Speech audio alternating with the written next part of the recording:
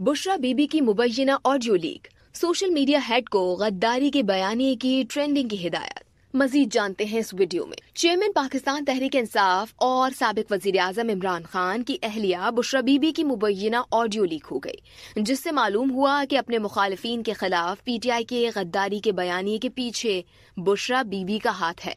इस मुबैना ऑडियो में सुना जा सकता है कि बुशरा बीबी ने ही गद्दारी का बयानिया बनाने की हिदायत की, जबकि बुशरा बीबी ने ये भी हिदायत की कि फरागूगी के इस गद्दारी के बयानिए में गुटमुट कर दिया जाए। मुबैना ऑडियो में बुशरा बीबी तहरीक इंसाफ की social media head Arsalan Khalid को हिदायत जारी करती सुनी जा सकती। है जो लोग पीटीआई छोड़ रहे हैं, उनके खिलाफ कैसी मुहिम चलाई जाए?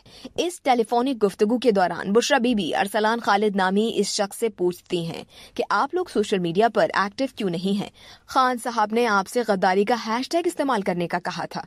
जब ये शख्स वजह बताने की कोशिश करने लगता है तो बुशरा बीबी कहती हैं कि अच्छा मेरी बात सुने।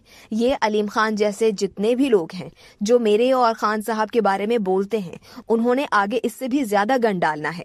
साहब खातून अव्वल हिदायत देती हैं कि आपने उसका कोई इशू नहीं बनाना।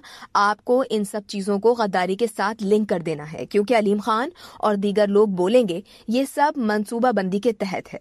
वो मजीद कहती हैं कि आपको सोशल मीडिया पर इस लेटर को उठाना है कि हमें पता है कि वो लेटर सही है और हमें पता है कि ये सब गद्दारी के लिए इकट्ठे हो गए हैं और गद्दारों के साथ मिल गए हैं। उन्होंने हिदायत की कि आपको आज रूस का मामला उठाना है, कि उन्हें पता है कि इमरान खान के साथ गद्दारी हो रही है और इसे ट्रेंड बनाना है।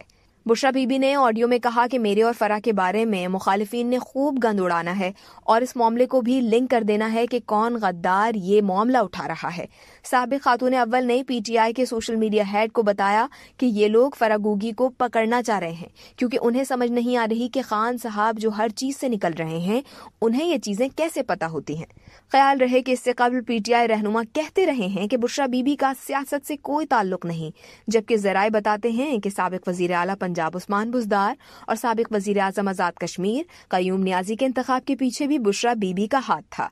उसके साथ साथ जहांगीर तरीन और जुल्फी बुखारी को हटाने के पीछे भी बुशरा बीबी का ही हाथ बताया जाता है। मजीद जानने के लिए सब्सक्राइब कीजिए हमारा यूट्यूब चैनल और लाइक कीजिए फेसबुक पेज।